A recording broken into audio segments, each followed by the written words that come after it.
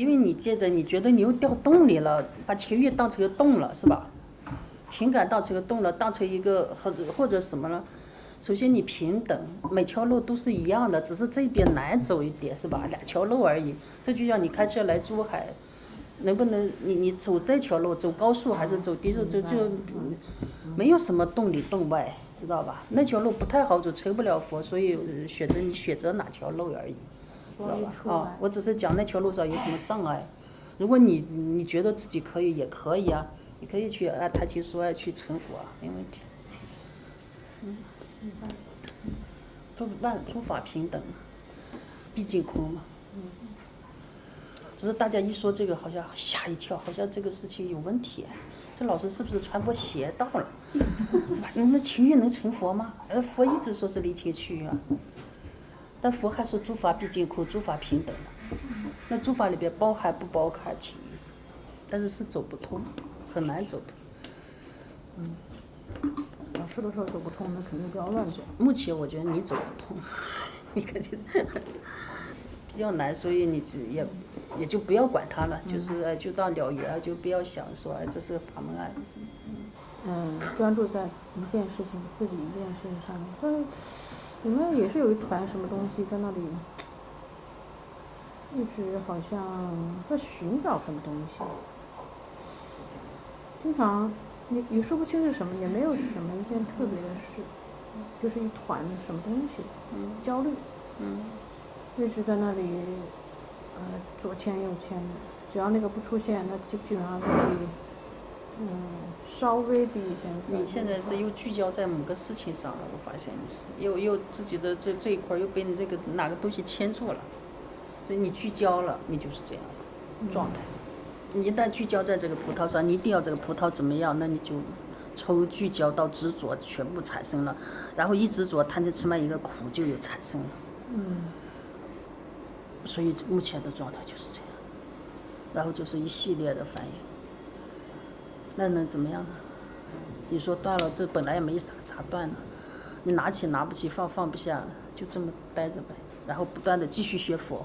继续听闻易度门网站，继续去看经典，继续念佛号，继续持咒，继续打坐，然后葡萄在这儿，你在这儿，然后还连着，还还在牵着，牵着牵着牵着，这是一回事，休息是另一回事，先把它放在一边。哎，修修修修，突然你成长了这块，哎，葡萄好像没问题了，我是我倒是倒，大家不牵挂了，但不代表大家好朋友也罢，或者什么都都行啊。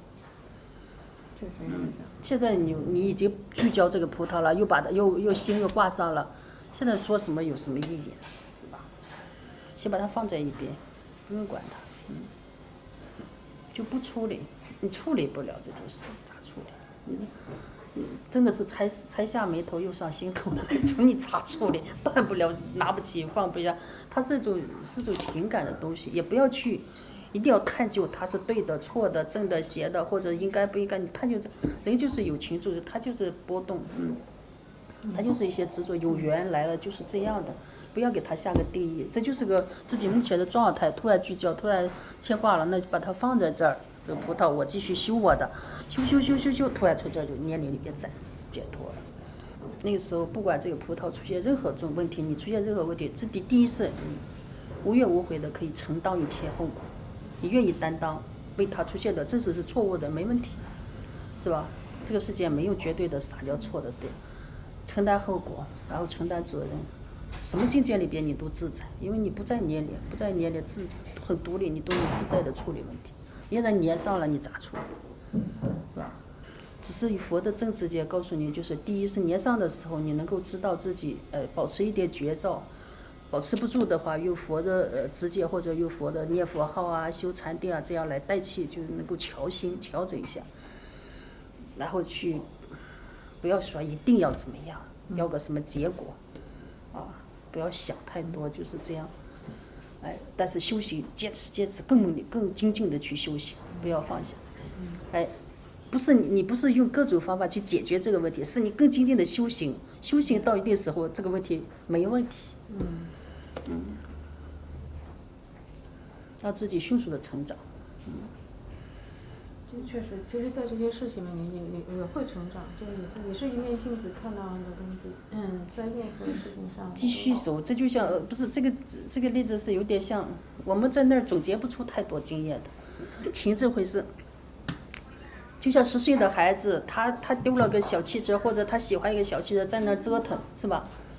他能总结出多少经验来？说是我应该还是不应该喜欢这个小汽车？我为什么我我对他哭是什么原因？我难道真的爱这个小汽车？呃，是我我彻夜不眠，不吃饭不睡觉，难道我的命不比小汽车重要？你想这些有啥用呢？是吧？如果他说我我跟跟他妈说，我怎么能把我对小汽车这个思念放下呢？是吧？这个这个玩具汽车嘛，他喜欢上了嘛，他他他怎么能放下呢？他妈肯定说你继续往大长吧，长到二十岁的时候，是不是那个玩具车拿过来他也不要？是吧？长到二十岁了，他会考虑当年小汽车那个问题怎么解决吗？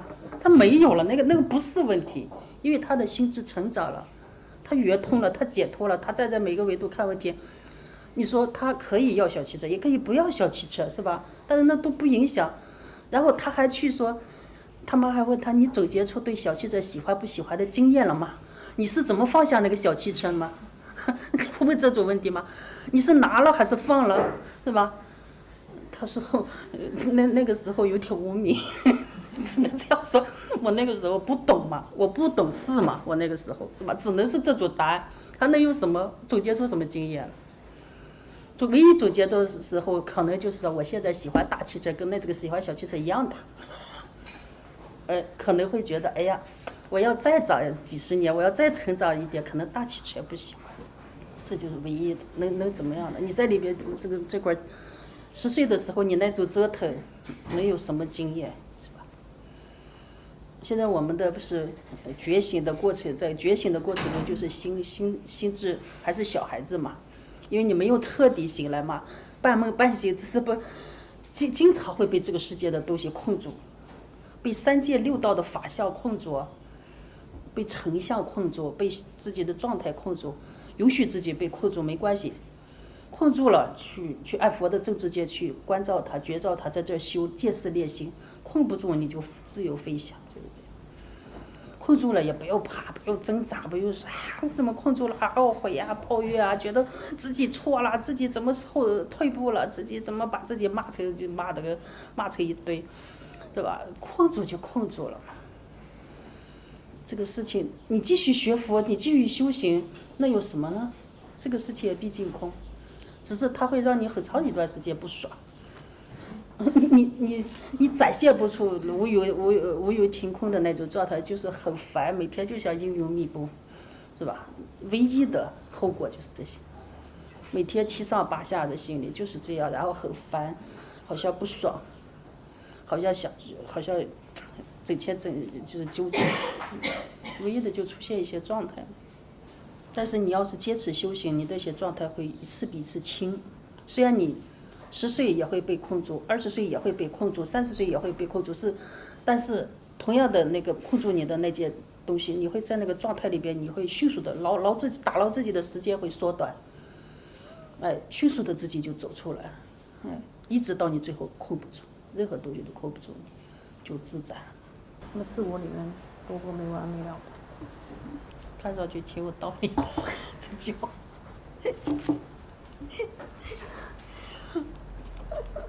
你又开始了，还就是以前你坐在这儿，我说能不能喝杯茶？我能不能不给自己下总结，喝杯茶？你能喝出啥茶吗？对，考试，考试，最起码转移一下注意力呗，老是盯着自己看。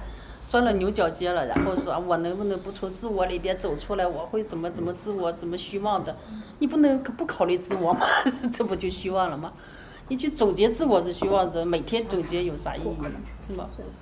你去喝茶，自我既然是虚妄的，咱不想它了，是吧？情感也是虚妄的，咱不想它。广州是虚妄的，咱不想它了，就喝茶。你看这杯茶水。这么有质感，喝到嘴里这么有味觉感觉，喝到肚里还暖暖的。终于喝出来了。烫，没喝多茶嘞，烫。就是其实转移注意力，让自己活在另一种另一种角色里，也是一种方法。我们因为你现在看一种看了好多概念，你现在不断的在总结自己，不断的想出一个解套，说是哎这个我应该怎样，应该不，其实也是挺累的。你现在标准的就是有一点点钻了牛角尖了，钻到佛概念的牛角尖里了，没钻到世俗法不要了，不钻了，突然又钻到佛学的牛角尖里。佛学的概念，世俗法发生的每一件事都有佛学的概念去盯住它，盯住它，去一定要要个说法，对吧？拿佛法来总结一下，然后不断的不断的盯着自我，自我，自我，老怕这个自我不虚幻了，不断的提醒，有个自我在这儿呢，有个自我在这儿呢，他又犯病了，是吧？只能说我们没有圆满，以前就是，只是，嗯，也谈不上退步吧。嗯，就是在道上的就这样，时好时坏，在修正之中嘛。你只要不放下修行，谈不上退步。那最起码现在你怎么会退步？你面对这件事情的时候，你用一堆佛话在跟我交流，什么着相啊、境界啊，什么是？哎，以前第一次没有啊，你不会说，啊，好歹就算口头禅也也懂了些嘛，是吧？以前你。我我就不行了，哭鼻子了是吧？怎么说是吧？只能只是眼力，没有佛话。现在还有佛见地哦，虽然它没太大起作用，但还最起码我能说出来。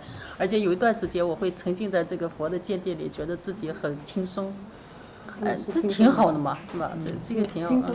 这这怎么能是退步呢？你继续修下去不就行了吗？那那错过葡萄不执着了，又执着那个那个继续往前走嘛，又执着那个没关系啊。但是你会逐渐的、逐渐越来越清晰对佛的见地，而且也纠缠的时间越来越短，而且放的越来越快。甚至说有的不放下，我走进去了，走进去你也有佛的直接去处理，